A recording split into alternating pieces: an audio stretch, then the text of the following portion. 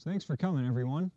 Um, the first order of business actually is to finish up the talk from last week on this implementation of a Markov chain Monte Carlo. And so we have this bladder cancer data set, and we observe for each county in the US, about 3,000 of them, the number of deaths, and we also recorded the number of person years that we observed that county. So number of people times number of years that each person was um, observed, all summed up. So here's the model right here. So we've got a Poisson distribution a gamma distribution, gamma prior on the thetas, which are the mean death rates per county. And we have uniform priors in alpha and beta. The point here in this model, why I'm talking about this here, is we can, in our Gibbs sampler for this model, when we're fitting this hierarchical model, all these theta k's we can sample in parallel. We can sample them all at the same time because we're assuming that these theta k's are independent and the y's are independent. So just to remind you, the idea of a Gibbs sampler is we want to separate, we want to sample from the joint posterior distribution of all these parameters by iteratively sampling from the full conditional distributions of alpha and beta and each of the theta k's. And all the theta k's can be sampled at once because, again, they're independent, so we can parallelize that whole calculation. And you can derive the full conditionals. Each theta k is a gamma distribution. Alpha is this ugly looking, has this ugly looking density that we're going to need a random walk metropolis for. And then we got a truncated gamma distribution for a beta, but depending on the data set, we can take the, the uh, upper bound to be really huge and approximate this just by any old gamma distribution, which in the implementation is what Zeb and I have done. So you can look at the summary of the Gibbs sampler here. I'm not going to go over it, but for you guys, here's a text summary, absence of my words. And here are the steps for a really good rejection sampler for gamma distribution, which, which uh, Zeb used when he put this implementation together. Um, it's a rejection sampler, and I'm not going to go over the specific steps, but the acceptance rate is at least 95%, and often better than 95% when the shape parameter is greater than or equal to 1. The rate parameter doesn't matter because you can just divide the observations by your rate parameter to, to either divide or multiply by the rate parameter to get um, to sample from you know gamma distributions of different rate parameters. So I'm not going to go through that. What I want to get to for today is the implementation. Last thing is that for the metropolis step for alpha, we compute, we draw this alpha star from this proposal distribution, which is a normal distribution, and we compute an acceptance probability that depends on evaluating the density of alpha at this proposal and the density of alpha at the last value that we sampled, the uh, alpha, alpha j. We compute this acceptance probability. Here's the form of the acceptance probability. So when we dig into the code, this quantity should look familiar in our sampler of alpha. And we accept this theta star with probability p. And we just keep going until we get a, we get a, well, no, we don't keep going until we get a, new value because, I mean, if we accept this value of alpha star, that's our alpha j plus 1. Otherwise, we take the last value we got to be our alpha j plus 1. So this only needs one iteration. Even if we fail to accept, we still move on right away. All right, to the code, which I didn't have time to go over last time. So uh, Zeb here created it. Um, he did nearly all of the work. I modified it a little bit, and I'll show you um, the modification, some of the modifications on the way. Um, a good description of how to use this is here. Um, it's really straightforward if you know anything about Linux or running C programs and from the command line. Um, real easy. So, beginning of actual code. Standard libraries, code.h, math.h, pretty simple. curand.h is kernel.h is important for the device API for this library called curand. Now curand is a library that I'll devote an entire talk to later that just deals with generating random numbers from this one library. It's very useful. You can generate a lot of numbers in parallel. Thrust, like I said before, I'm going to devote another whole talk to thrust. This is what our uh, next include statement talks about. Um, so thrust is the CUDA C, C++ analog of the standard template library. Has a lot of parallelized algorithms like reductions, including the pairwise sum. I'm using the pairwise sum and the pairwise product in this code. Um, Zeb coded them by hand. I'm, I modified the code to call thrust instead. And I'm including thrust reduce in order to use those reductions. Um, I don't know if if changing to the thrust implementation actually uh, had a speed up for this data set. Now, um, I guess there might be a speed up if you're if you're going to different data sets and you need different different proportions of blocks to threads, and Thrust might take care of that. And they might optimize it differently. Um, and the previous implementation, you sort of had to optimize it by hand, which which I think I think you did. For is that right? Right, right, yeah. Um,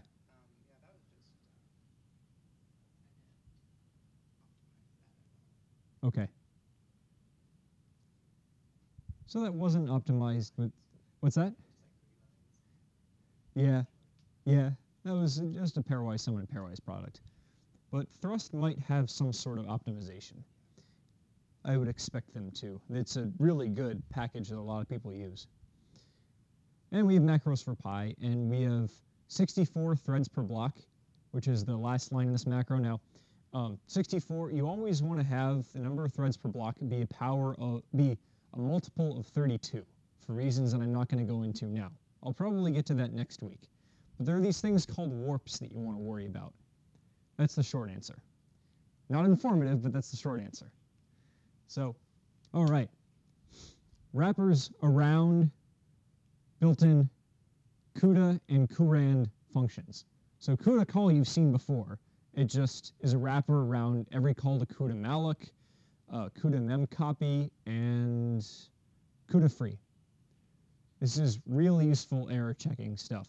And it'll even tell you, as uh, Dr. Marsinga and I talked about, if, if there is no CUDA capable device hooked up. It will tell you that too, and it's very important. Sometimes you're, you're, if there's if no GPU is actually hooked up, but you have the right software, the program will spit out garbage, and you won't know why. Could turn out that there's just no device hooked up. So you want you want some sort of error message. These are. Uh, I'm going to keep telling these stories. I've got plenty of them. Do error checking. Yes. yeah. Yeah. So you don't want one plus zero equal to minus thirty-two thousand. Not knowing why.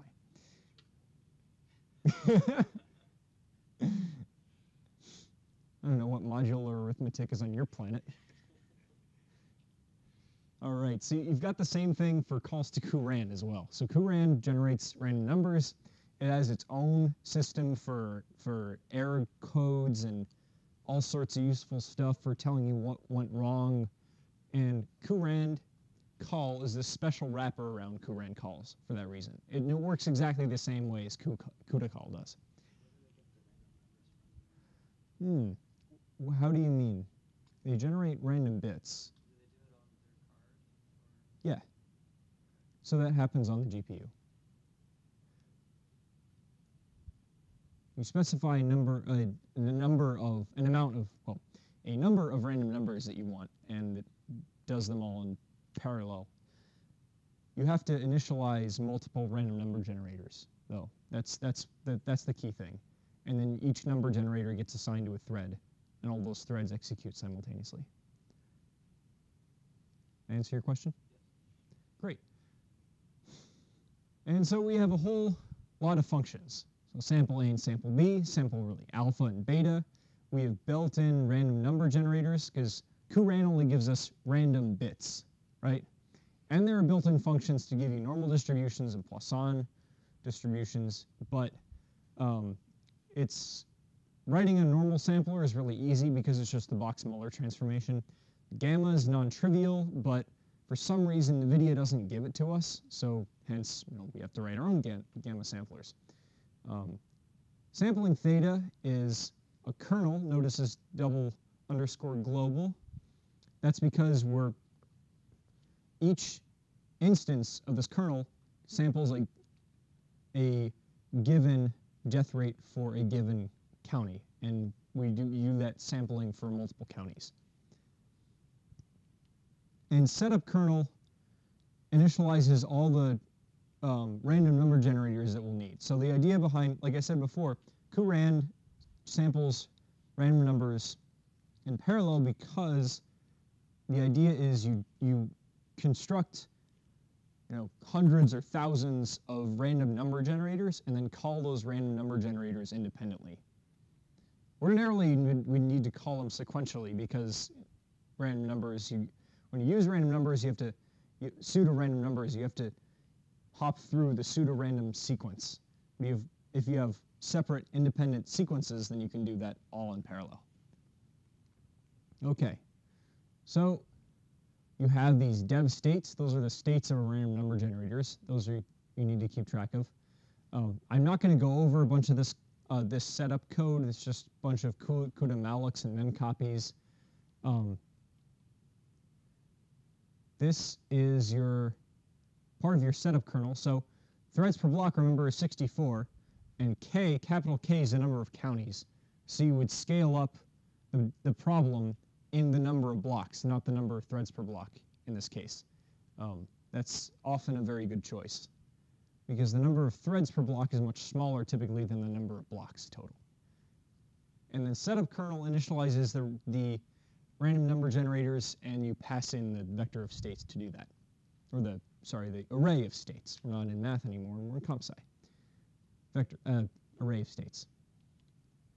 Okay, so the MCMC is entirely in this loop. We call the sample theta on the number of blocks and threads per block because that's the kernel and it samples these uh, dev theta and dev log theta. Those are all the thetas, right? All of the death rates, the, the average death rates. It's, it's sim simulating from those conditional distributions all in parallel, which is really nice. Now I store the thetas and the log thetas because they're convenient for later. To compute sufficient statistics, you're going to need to sum. You're going to need to have the sum of all the thetas and the sum of all the log thetas. And the sum of all the log thetas is just the log of the product of the thetas, right? So I'm computing the acceptance probability for the random walk metropolis step on the log scale. So that's why I need those. On that note, I one of the modifications I made was to replace um, these sums and this pairwise sum and pairwise product for those sufficient statistics using thrust. What I do is I cast dev theta and dev log theta into two device vectors. I'll get more into what that means. They're objects not entirely unlike arrays, according to the paradigm in the thrust library. And theta and log theta are these vectors. And I call thrust reduce on theta and log theta to compute the pairwise sum of each. And so I just call this whole pairwise sum, you know, worrying, you know, these, you know, several lines of code that you would have to think about, you know, how many blocks and how many threads per block do I need. You don't need to worry about that stuff if you just call thrust reduce with one line. It's pretty cool and I get a flat sum of the thetas and the sum of the log thetas out of this. And I use these to compute sufficient statistics. So when I sample from alpha, I just pass in this sufficient statistic. When I sample beta, I just compute this one. So iteratively, to, to kind of go back and look at this, the big picture here, we're iteratively sampling from the thetas and the alphas and betas. And these two functions, the alpha beta samplers, they are computed on the CPU because we're only we're doing them sequentially. We don't need the GPU for them. Um, sample theta, that's a kernel. Remember this triple bracket notation? That's the number of blocks and number of threads per block we're using. That's on the GPU because, we, again, we want to sample the thetas all independently. And then we free everything and we're done. Um, I'm going to speed through this, these samplers here. So sampling alpha is just this, this metropolis step that we were talking about. Sampling beta is just from a gamma distribution. That's why our gamma is here. And hyper A and hyper B are just the hyperparameters of that specific gamma distribution for beta. Um, our norm, that's the Box-Muller transformation. We have a host copy, and we have a device copy, as you'll see later. And here's the gamma sampler, that rejection sampler with a really good acceptance rate. Now we have a device R gamma, which instead of R norm here and rand here, we have cuRAND normal, which is a built-in function in the cuRAND library for generating a normal distribution, sampling from a normal distribution. And then there's cuRAND uniform as well, which is exactly what you think it is. And I pass in the state of the random number generator each time I use it. And state is really a vector of states, and ID is the idth state that we have. And ID is actually going to be the thread index that we're using. So we're going to calculate multiple normals and uniforms you know, in parallel. When we can, why, do we need uniform here? Because, well, we computed a, um, well, I'm not sure, but in other situations I would say that we compute some acceptance probability and we accept or reject um, based on that probability. And so I sample uniform to, um, you know, to say, well, if u is less than p, then we reject, then we accept. If u is greater than p, we reject. That's a very common rejection sampling thing. That makes sense? Yeah, but you don't need to, because the, It's the, the, these are uniform zero ones, right? yes. Right, so, you know, what's the difference between the random numbers and uniforms? These are same. Right. Don't quite understand your question then. bits that come out of your random number generator that the, without calling it uniform or normal. Yeah, that's exactly. Yes. what I'm saying. Yes, so the bits themselves are, are uniform, but depending on how you represent them, they could be, you know, integers from, from you know, 0 to 256 minus 1, or, you know, uniform 0, 1 real numbers. Um, cuRAND uniform takes care of the, that scaling that you need. And you don't have to care about what's actually going on. Right. You can sim you can sample uniform uh, you can sample random bits instead if you want to. There's there's I mean just the function cuRAND I think um, if I'm remembering this correctly will just give you the bits um, in whatever and I think an integer data type an int data type. Um, uniform just gives you the number you want if you're looking to sample from normal zero one from uniform zero one. That makes sense? Yeah, I have another question. Yeah? The, um, that states array, is that, uh, can I think of that kind of like a seed? They're not the same, actually. A state is sort of, so a seed is used to initialize the state and a bunch of other things. So it's not exactly, they're not exactly the same, but they're highly related. Um, It's-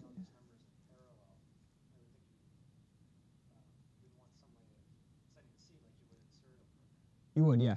And so you can, yes, when you create these things, you will give it a seed, and then it'll create the states from the seed. And the states keep track of where you are in the pseudorandom sequence.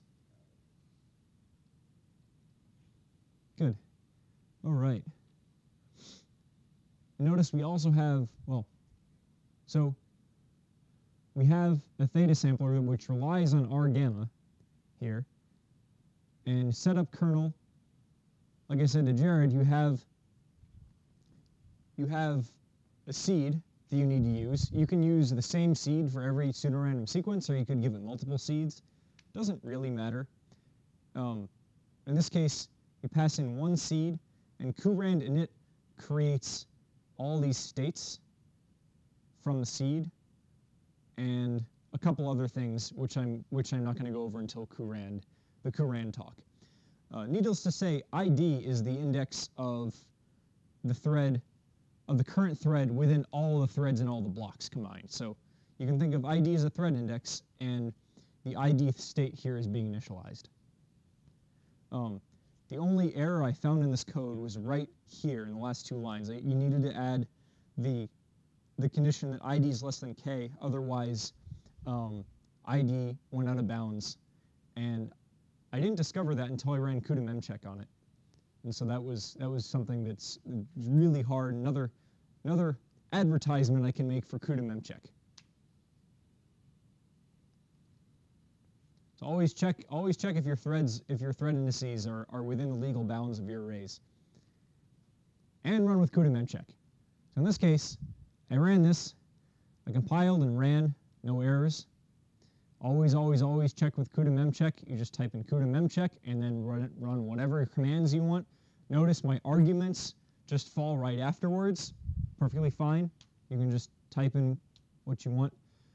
Um, let's go back to compilation for a second because this, you run NVCC, sometimes you need to say, uh, you, need, you need to use this arch flag. SM20, I think, ensures that the, the compute capability is at least two. Now, compute capability is kind of like hardware, software versioning, and so later compute capabilities can do more than earlier compute capabilities, and you want this program to assume compute capability of at least two to take full advantage of the features um, in this program and to work properly um, before you compile. You'll often need to do that.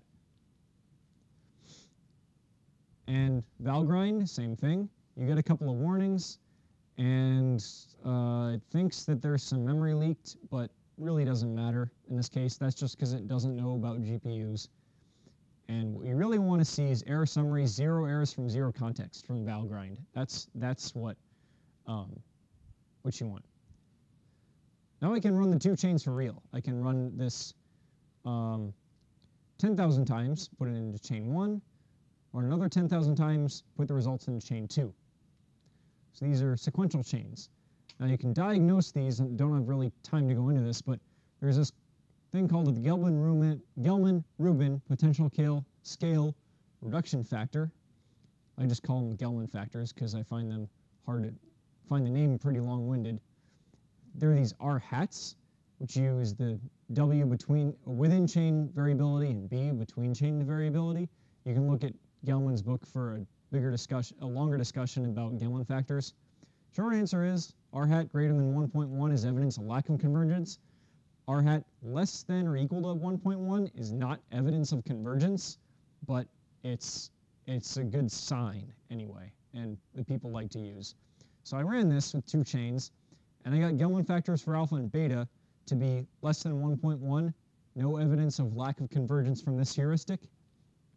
And I did uh, trace plots and histograms of the distributions, and they look, they look okay to me. They look like Maybe I didn't get stuck in a mode as far as I know. Um, you want these trace plots to fluctuate. After all, you're generating random numbers. You don't want them to, you don't want to get stuck flat for a long time or to drift off into the sunset.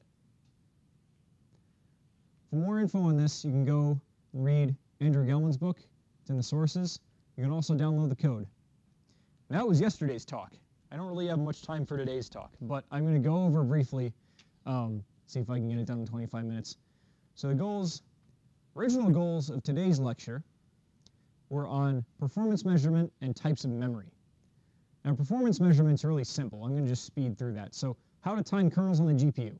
So let's first of all compare to how to time kernels, how to time code in the CPU. You use time.h. There's a clock type, and you set start to be this output of this clock function, which gives you the time. Then you run some code, and you compute clock minus start. Divide by clocks per second, because the measures clock outputs the, uh, the numbers in units of clocks, not uh, seconds. So you need to convert. Then you print out the elapsed time. Pretty simple. In CUDA-C, it's, it's analogous, but there are some synchronization issues you have to worry about too. So um, you can you can just copy and paste this code and it works. So um, an event is a timestamp, and there's this special event type for your start and stop stamps or events. Those are those are checkpoints um, for your code. You have to create them formally once you, um, or these are by create they really mean initialize. So you're you're creating you're declaring start and stop here as CUDA events. You're creating or initializing them by passing them by reference in this function. And then you record some start the starting event. Do some work. This could be a kernel, a CUDA memcopy, CUDA uh, malloc, whatever you want inside here. And then you record the stop timestamp. Usually it would be done, but suppose you want to you want to time more things, right, with start and stop.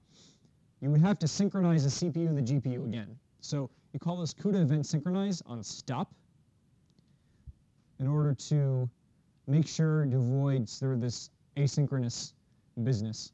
So it turns out the CPU and GPU um, execute this program asynchronously. So the CPU doesn't wait, doesn't always wait for this kernel to get done before it executes CPU code, right? Um, kernels execute sequentially themselves, but code in the CPU doesn't always execute sequentially with, with kernels. So you have to worry about that, um, which is why you would call CUDA events synchronized to make sure you have accurate readings. Now, um, this may slow your code down. So you may want to only do this when you're debugging something or finding more opportunities for parallelism. Um, sometimes you don't want to do this all the time. Um, you compute, but after that you compute elapsed time, you destroy your start and stop events that freeze your memory, and then you print out the elapsed time. So there's an example here where I time the pairwise sum using this code, and I've already gone through this, but long story short, I wrap this code, this CUDA event create business and the things afterwards around this psum kernel. And I time the uh, execution time of that. I run it. I compare it to the linear sum. And I compare it to the, sorry, I compare it to the CPU version equivalent GPU versions of this pairwise sum and the equivalent linear sum. The GPU is a little slower because I ran it with small data and there's a lot of overhead when you start computing something on the GPU. So that's timing things on the kernel. You can look up this code online if you want to know sort of more information, but it's really you copy and paste this code into your program and it works. Pretty simple. Not in this case. In this case, I'm just timing the kernel. Yes, because everything in between this block and this block of, of code is what I'm what I'm timing. And I'm only time and the only thing in between here is this. So memory, this is the important bit from today. So there are three kinds of memory. Well, actually multiple, but three main groupings of memory. Things that are private for each thread, things that are private for each block, and things that are shared by all threads and all blocks. So each thread gets its own little box of registers and local memory. These are things that this thread and only this thread has access to. If I create new variables within a kernel, let's say I have a variable x that I say, you know, int x equals 0 inside a kernel, right? Then thread 0 will have its own copy of x, thread 1 will have its own copy of x, and so on. There will be actually four copies of x. And when I say, you know, x equals 5, well, that's actually that operation of assignment, assigning the value 5 to the variable x, will happen four times in this case. Now, x can be stored in local memory or it can be stored in registers. Things that are stored in registers are easier to access and they're faster to access. Um, local memory takes a little bit more time. There, there might be a way to micromanage what goes into registers and what goes into local memory, but I haven't looked up how to do that because I trust NVIDIA's automatic optimization of this um, more than I trust my own judgment. I mean, I think you would have to know a lot about compilers in order to do this well. Now there's this also thing called shared memory because, you know, if I can if I can give each thread its own private copy of a variable, why not give each block its own copy of another variable? Let's say let's say I have a variable y and I declared it to be a shared variable, right? There's going to be a copy of y here and a copy of y here, and over here in this block, thread 0 and thread 1 are sharing the same copy of y. That could be trouble because because thread because thread 0 over here and thread 1 over here can't write to y at the same time like they can to x, right?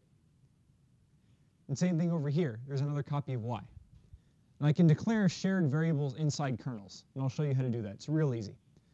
Now, global memory is anything, things that are in global memory are anything that you pass by, that you, that you initialize with, um, and create memory for with CUDA malloc and maybe initially assign the values to with CUDA memcopy. Um, that is what's in global memory. And all the threads and all the blocks shared ev share everything that you create with global memory. That's, that's again, the CUDA memcopy, CUDA malloc. Those are managing things in global memory. And any pointers that you pass into kernels point to global memory. So here's an example. Here's, here's my kernel and I've, I pass in a something in global memory, B global and T global. And down here, B global and T global and B global are the thread ID within the block and the block ID respectively, right? But also I create B local and T local, and I assign the same values here. Now t and b are something altogether different because I declare these to be shared variables. All you have to do is have this double underscore shared inserted here in order to create shared variables. And I do the same, th same thing here. All right, so, whoops, I wanted to step through this, but I don't have really much time. Needless to say, so B local and T local Remember, each thread in each block gets a copy. Now, remember represent, I'm representing each thread this way with, you know, as an ordered pair with the block ID and the thread ID per block and within that block. Um, just to explain this. So, so B local, there's one copy per thread. So we're guaranteed that, you know, B local is going to get the value of its block and t-local is going to get the value of its thread within that block. B-shared and T-shared are a bit different. So there's one copy of B-shared per block, and one copy of T-shared in that block as well. So just looking at B-shared, um, each thread is going to write the same value to B-shared within, within the block, right? So um, these are correct, these values. T-shared, a little bit different though, because if you have two threads in the same block, they're going to try to write to the same memory location. Because T-shared, you get one copy of T-shared in block 0, one copy of T-shared in block 1, and both threads in block 0 are trying to write their thread IDs to T-shared. And same thing over here in block one. And they're competing to write to that value. And you don't know which thread's going to win out. This may be a bit abstract, but um, yes. So thread, if thread 0 goes in and it writes its value 0 to T-shared and then leaves, great but thread 1 is going to come in later and overwrite that value with its thread ID, 1, and then leaves. And so the final value of t shared is going to be 1. But you don't know if thread 0 or thread 1 is going to finish last. So you really don't know what's going to be here. That's a race condition. We'll get to those next week in a little bit more detail. And B global and T global, you don't really know. You, you know even less because for these, there is only one copy of B global for all the threads and all the blocks. And same thing for T global, and they're all competing to write to the same thing. Because there's only one copy. So you really want to pay attention to how many copies of your objects are, you know, in, in memory and which copies are, you know, particular to each thread or shared by multiple threads. So you don't run into situations like this. That's not to say you should always use local memory though. Sometimes you won't have to. Sometimes it'll be really inefficient to copy things over to local memory. There are uses for each kind of memory. And we can go over an example of this right now where we use all three kinds of memory, shared, global, and local. So take the dot product, for example. So here's my, here's my algorithm. So I take a vector of length 16, another vector of length 16, and I want to compute the sum of the pairwise products, which is the dot product. And I'm going to use two blocks and four threads per block for this purpose. Now, when I talked about the dot product earlier, I only used one block and let's say eight threads per block. But sometimes vectors get so big that you can't use just one block because there aren't very many threads per block that you get. So you may have to do this calculation over multiple blocks, and shared memory allows us to do that very easily. So, so we give a subvector to each block. And each block computes the dot product on that, long story short. So what you do is you have this, this shared variable called the cache, which I, call, which I call cache, and the book by Sanders and Kandrot calls this cache as well. I took this right out of his book. Cache is this array in shared memory. So block 0 gets a copy, block 1 gets a copy. And this cache is shared by all the threads in the block. And I, can, I compute pairwise, a bunch of pairwise products and sum them up and put them into this cache. I compute the pairwise sum of all the things in the cache within each block, store that in the initial element of cache. And then what I do is I write these values back to another array. So cache 0 is in block 0, and cache 0, there's also a copy of that in block 1. I transfer these values over to something in global memory so I can write these partial sums back to the CPU. You can only write things back if they're in global memory, right? So I need to store these things in this array in global memory, and then sum these things up, and the pairwise sum of partial C is the final answer.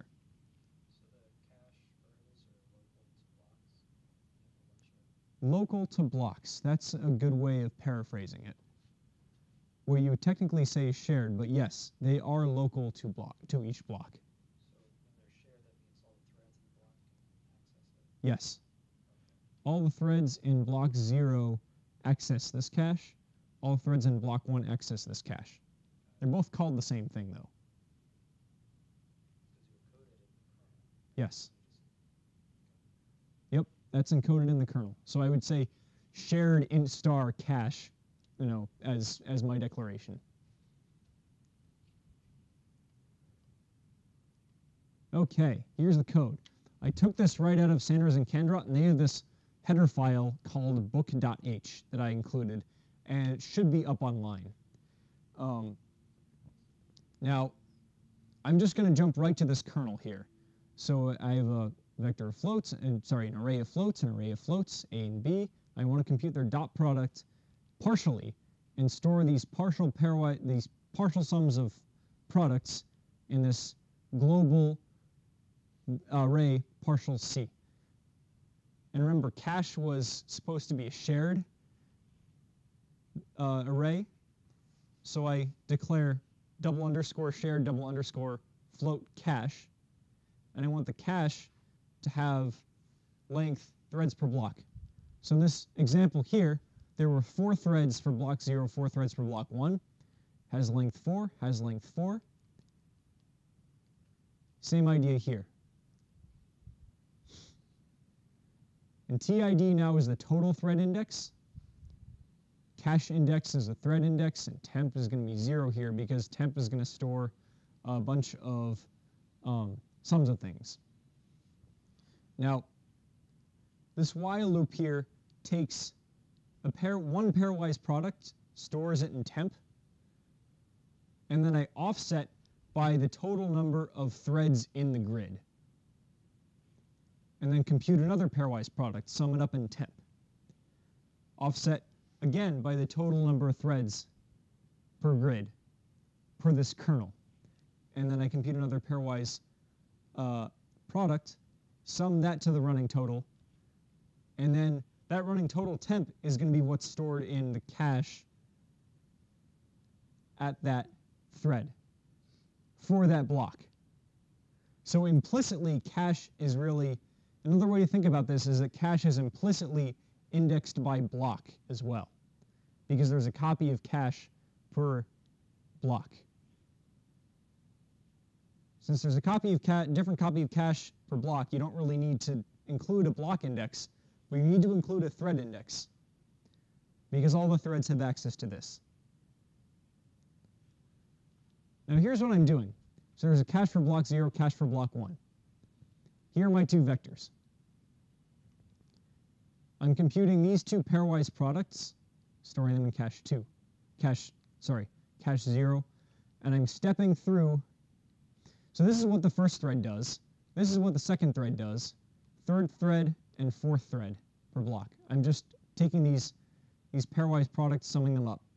And I'm offsetting by 8, which is the number of threads in that kernel call. That's so these four threads that I just looped through are what this first block does. But this vector is so long that just that first block isn't going to get isn't going to get through the whole length of the vector. The second block has four threads, one, two, three, four threads, and then it takes care of those sums of pairwise products for the rest of the vector. That makes sense? And I can represent the memory like this, again, because cache is a shared variable. All right. Next thing to do. Yes? Yes. How far? Here? Yes. uh, uh, you think that there's got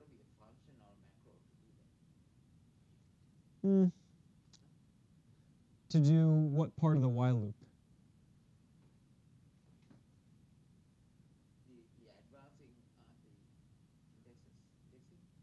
Well, there might be. Well, you could you could turn this into a for loop. You could you could turn this into a for loop and just increment by this much. But I copied the book the book's code and the book had a while loop in there. By the way, the part of the while loop is the part that jumps from here to here per that thread. So the, here's the first iteration of the while loop, here's the second iteration. And depending on the offset that you jump through, that's sort of how you might tailor this to your algorithm. Um, let's go. So I could have, I could have, depending on the number of blocks I had, depending on how I want to parallelize this, I could have a different offset here. I could, I could easily, I could just as easily define, you know, an offset of one and just compute these two pairwise products first. It's just not as not as clean when you actually write the code. So let's go back to the future. All right. Now, remember when you next step, these are all the pairwise product. These are all the partial sums of pairwise products that I'm going to need? And so I want to take the pairwise sum of this and the pairwise sum of this. But remember, in order to do those things, I need to make sure that we have successfully computed or finished computing all these things and all these things before I move on. So I'm going to synchronize all the threads within, the, within this block. And then I'm going to do this pairwise sum. We went over the code for pairwise sum, so I won't go over it again. But this computes the pairwise sum of cache for each block and stores the result in the zeroth index, in the value at the zeroth index of cache. I store all the results in partial C, so the block ID element of partial C is going to have that corresponding block's copy of cache of zero. Because cache of zero is shared. Again, that's how you use shared memory. So what this code is doing again is, you know, for each block, this is block zero, it's computing the pairwise sum. So I get one sum, I get another sum, and they're each stored again in this cache variable. Sync threads, and then I finish the pairwise sum. So that's a review of pairwise sum code as, as applied to, to here, and I'm not going to go over it too much. You've already seen pairwise sum. Now I copy, I'm not done. I'm done my work on the GPU, but I'm not done overall. Because what I need to do is I need to copy partial C back to the host, back to the CPU. Um, so I do CUDA mem copy of dev partial C, which is partial C in the device that I just computed, copy to partial C, and then I finish up on the CPU side. I just take a linear, I'm, I'm lazy here, so I just take a linear sum of partial C. And if you're not actually using parallel code, you might as well just use the linear sum because the pairwise sum won't really uh, make that much, make as much of a difference as if you did, you know, on the, on the GPU. So, and then C is the final dot product. Um, you can run this code online. It's posted um, on, on the website for this talk. So we went over timing kernels on the GPU. Little little trick for when you're when you're doing your code and you want to prove that hey there's a speed up here. Well, you might want to have evidence for that. We also went over memory. So memory is I mean, you got to be able to, to avoid race conditions and to really make your programs run fast. You got to know what memory you're talking about, and you know, uh, you got to be able to use it correctly. And I think it's kind of nice and elegant that there's you know, thread-specific memory, block-specific memory, and grid-specific memory. That's really that's one of the one of the more elegant parts of um, GPU computing in CUDA-C that I can think of, um, just, just in your, to have in your toolkit at the hardware level. There is also constant memory and texture memory, things that I don't know how to use, but if you're really serious about speeding up your code and want to really polish your programs, you're going to want to take a look at those things. Anyway.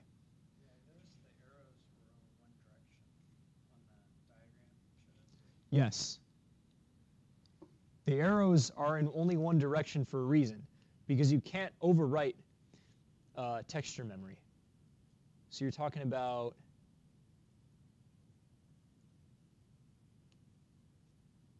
this diagram, right? Yeah. double arrows, whoops. Double arrows for registers, shared memory, local memory, global memory. One arrow for constant memory, one arrow for texture memory, because those you have to write to them from the GPU, from the CPU side, and you can't overwrite them ever again. But things are faster when you use them. That was really astute of you to notice. Did you know about texture memory and stuff beforehand? No? Yeah, good eyes. I didn't pick up on that, and I found out what constant texture memory were from other reasons. There are probably more kinds of memory too. Uh, you can get really fancy with it. You might have to delve into the graphics paradigm to actually do it though. I know um, which isn't really bad if you're writing something like a like a ray tracer, but um, it gets less intuitive. So I took the dot product example from Sanders and Kandrot. They have a book, CUDA by Example. It's a very good book. Also very good book, uh, Kirk and Hwu and Wen, uh, Wenmei. They've uh, their text is very good. Kind of fills in a lot of the gaps of Sanders and Kandrot because their book is is largely by example. The Kirk and Hwu book puts things, you know, more in an organized way, very pedantic, but less examples. Um, I got a diagram from these guys, and the code that I went over today is online. I actually finished close to on time today. Oh, series materials, videos, slides, code, all available here. Schedule of talks. And thanks for coming.